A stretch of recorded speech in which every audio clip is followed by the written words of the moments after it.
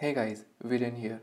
Welcome to new video where I will show you how to hide any file and folder in your Mac with just two keywords.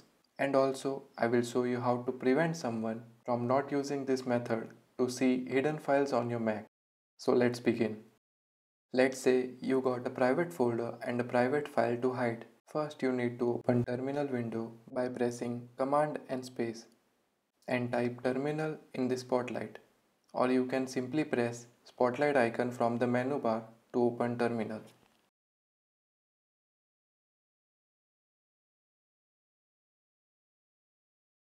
In the terminal, type the following command including a space at the end of it. chflags hidden, then drag and drop the folder which you wanna hide to the terminal window. The path of the folder will appear in the terminal.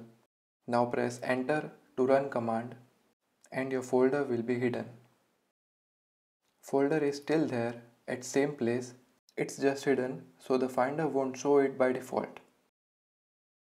Now to access the hidden folder, simply press command shift and period in your keyboard and all the hidden folders and files on your Mac will be visible and available to access.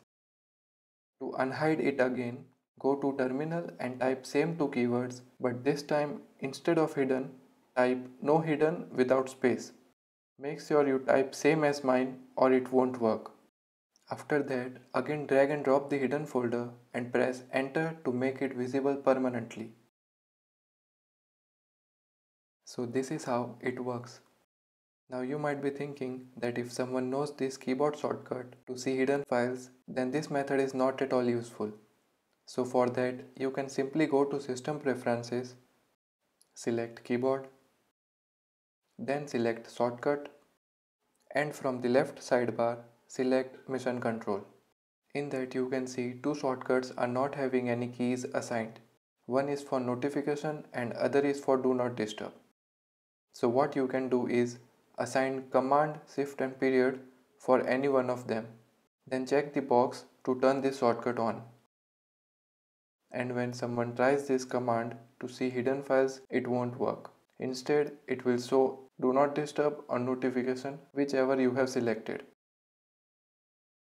And when you want to see hidden files just go back to system preferences and uncheck the box so the command will be back to default and it will show hidden files.